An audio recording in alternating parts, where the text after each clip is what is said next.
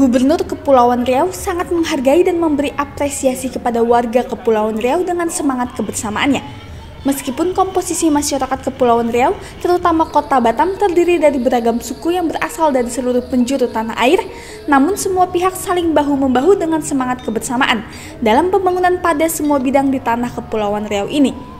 Hal ini dibuktikan salah satunya saat semangat kebersamaan yang diciptakan pada acara Halal Bihalal yang dihadiri oleh kurang lebih sebanyak 162 ribu warga Jawa sekota Batam.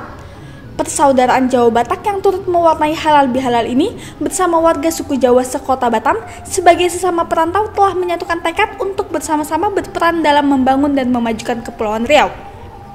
Selanjutnya akan menyusul terbentuknya persaudaraan Jawa Melayu, Jawa Tionghoa, dan lain-lain. Gubernur Kepulauan Riau, Nurdin Basirun, dalam sambutannya mengatakan, pembangunan di Kepulauan Riau, terutama di kota Batam, akan cepat mencapai kemajuan apabila semua warga Kepulauan Riau memiliki semangat kebersamaan.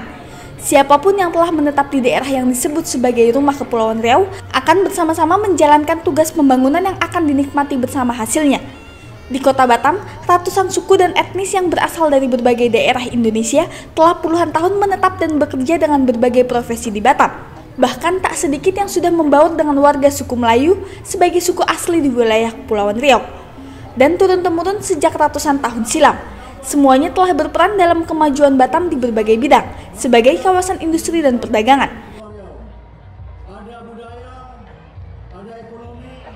Dari Batam, Kepulauan Riau, Andri Sofian Tribrata TV, salam Tribrata.